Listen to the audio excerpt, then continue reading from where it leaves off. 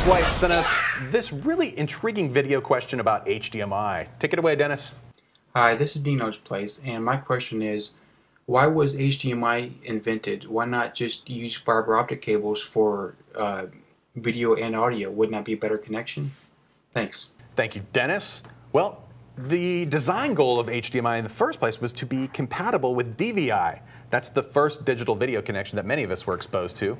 And the founders of HDMI, that included some of the biggest names in consumer electronics like Panasonic, Sony, Toshiba, Philips, Hitachi, that group realized it was just as important that they have the support of the studios and the people who own the content when creating a new standard. Basically, it had to be a secure connection. But why why copper instead of light? I mean, you know, your Yeah. your your digital audio connection. Most of the S/PDIFs out there. Are, There really is no technical reason why it couldn't have been a fiber cable used as the primary transport in consumer home theater, but such a system would need to have HDMI's low unit cost. Uh, Mm-hmm. the port on an H for HDMI on a typical product is about four cents to license that. It also, more, most importantly, they need to have a secure data transport and a standardized interface, which you could say that is a standard. Toslink is a standardized interface that's used for that. There are products that will convert the HDMI, the copper, Right. to fiber and then back on the other end. most So of if you're doing run really long distances. super, yeah, super long runs. And arguably, you could also say, why didn't we all just switch to SDI?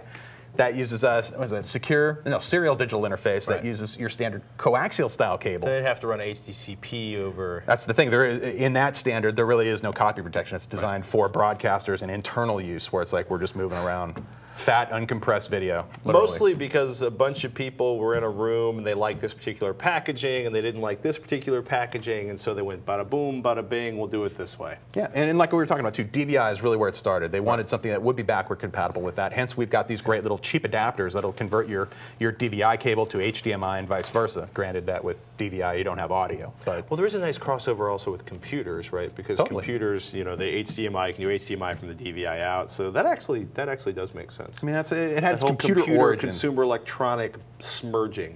I mean, if we would have let the video engineers do it, it probably everything would be using cheap fiber or Coax RF cable or- to everything, and it'd be nice to have fiber. I'm a big fan of you The know, cable would light. be cheap, but it would be like eight bucks or fifty bucks for the you know thing you plug it into on your. But you got to have the Blu-ray secure player. pathway, the, the protected storage, protected transport, protected display, just to make the content owners happy. They could have done that inside. I think Yeah, they, I know. they probably just didn't think optical cable was going to scale as well as HDMI cable in terms of, of pricing going down. You know, that might, That's my theory. Back in the day, I would say that's a good argument. But nowadays, you realize that those cables are, I don't know if it's as cheap as fiber, but it's pretty, uh, pretty close. So maybe when we get to our, our, our next generation HD TVs, they'll start bringing in that optical HDMI. Wireless.